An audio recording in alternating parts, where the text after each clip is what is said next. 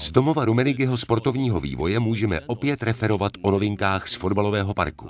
Tentokrát šlo o park fotbalových dovedností, který se skládá z 11 sestav. Při všech prvních veřejných ukázkách jsme byli s kamerou přímo na místě. Více než 150 dětí s napětím sledovalo, jak Michael Rumenige Fotbal Park osobně představoval. Začal u soccer parkour, tedy u pohybu s míčem, kličkování a šikovnosti s balónem. Další atrakcí je fotbalová rampa Soccer Ramp. Přes rampu musel být vstřelen míč do koše. Teď představíme soccer basket, basketbalový stojan. Zde se musel míč odhlavičkovat přímo do koše. Na soccer bowling čekalo celkem 10 nehybných kuželek. Prudkou střelou se musí pokusit povolit co možná nejvíce kuželek. Teď přejdeme k sestavě čtyř různě velkých děr soccer halls. Ve třech pokusech musí poslat míč do každé z děr. Čím menší je díra, tím lépe je bodově ohodnocena. Nic nechybí samozřejmě na modulu Soccer Torwand, který je rozměrem totožný s používaným modulem německé televize CDF. Zcela klasicky se zde vyšlou tři střely dolů a tři střely nahoru.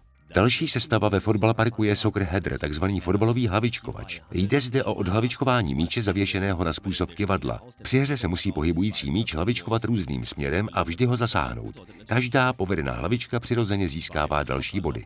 Soccer lob je modul, kde se musel střelit míč přes překážku a pak samozřejmě trefit koš. Byly k tomu tři pokusy.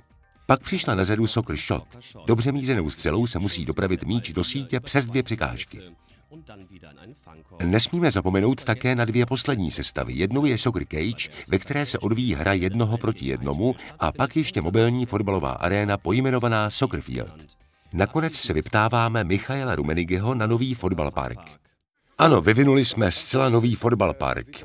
Je vidět za námi spolu s velmi úspěšným Soccer Cage a kolem jsme postavili další různé součásti v principu zjednodušeného minigolfu, ale přirozeně se zapojením nohy, hlavy, pocitu při ovládání míče, za použití rozumu i jistoty.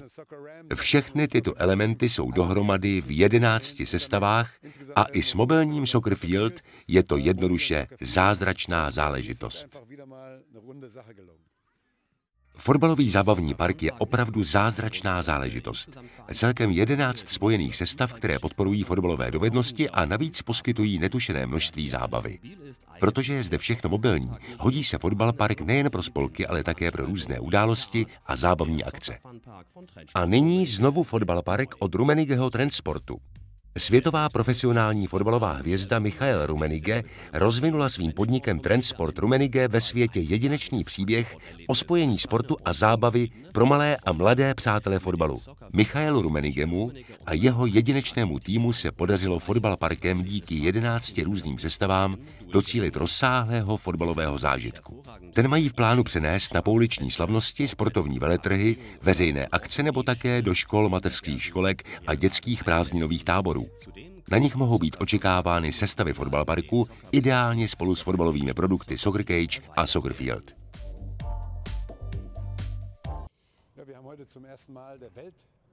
Dnes jsme poprvé představili ve světě náš fotbalpark, činný od roku 2008 a ohlas v televizi, rozhlase a tisku byl obrovský. Tedy tohle jsem nečekal, že to bude tak dobře přijato. Zájem byl obrovský, což hovoří v náš prospěch.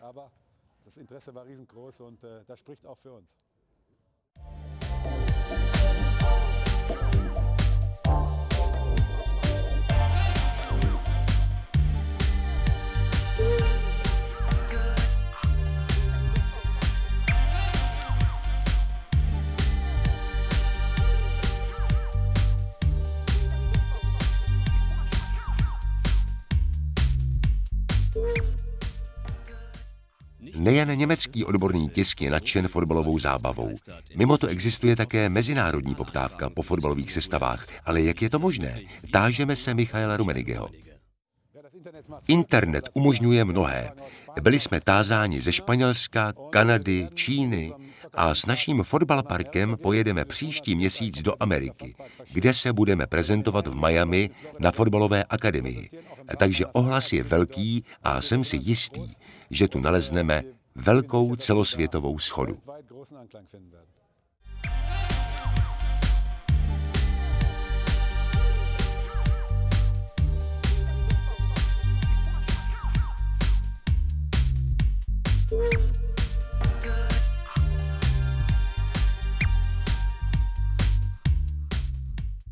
Jestli i vás teď uchvátila fotbalová horečka, najdete přirozeně ještě více informací na webových stránkách společnosti Fotbal Trend Gabriel.